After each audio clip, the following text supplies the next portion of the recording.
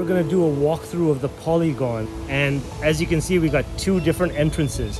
That's actually the main entrance there on the right.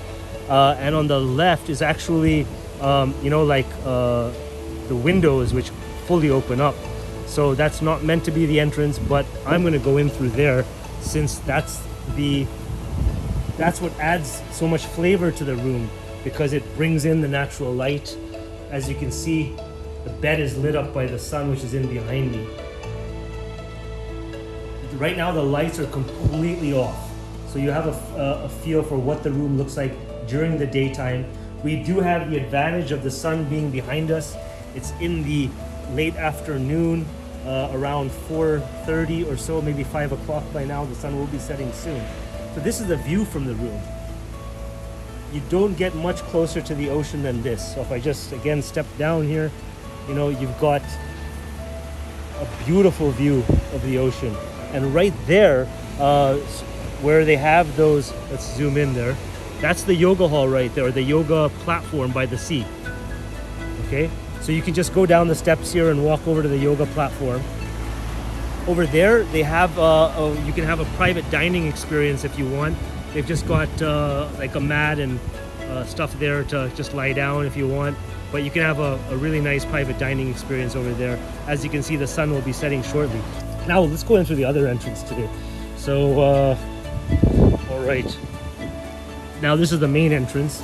And if you order room service, they'll ring this little bell and they'll serve you your room service in here. All right, so you got a king bed with a mosquito net.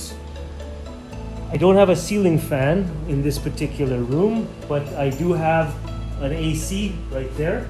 You've got the television, you've got a steel kettle down here. You should have a mini bar. There we go. The mini bar doesn't have the bottle of wine yet. We'll get that sorted out, but if you'll be having wine if you're on a wellness diet. You've got some snacks there. Let's take a look at the bathroom, which has a lot of charm. Now, I want to show you my favorite feature of this particular bathroom is you have a bathtub, an open to sky bathtub, but still has a ton of privacy as well as your outdoor shower. Then you have a semi indoor shower or covered shower, I should say. It is uh, open in the sense that there's no window or glass here so it doesn't fully close and there's no hand shower that's one of the downsides so if you need a hand shower or there is one that's part of the bathtub so you do have a hand shower that's part of the bathtub all right? So uh, pretty cool bathroom compared to some of the other rooms. I think it's a bit unique. And then you've got a spacious uh, toilet uh, area with the sink your amenities. As you can see when you open up all the, uh, the doors, uh, you have an abundance of natural light. And then when you close everything up and you're about to go to sleep, you have the perfect setting for a good night's sleep, which is darkness.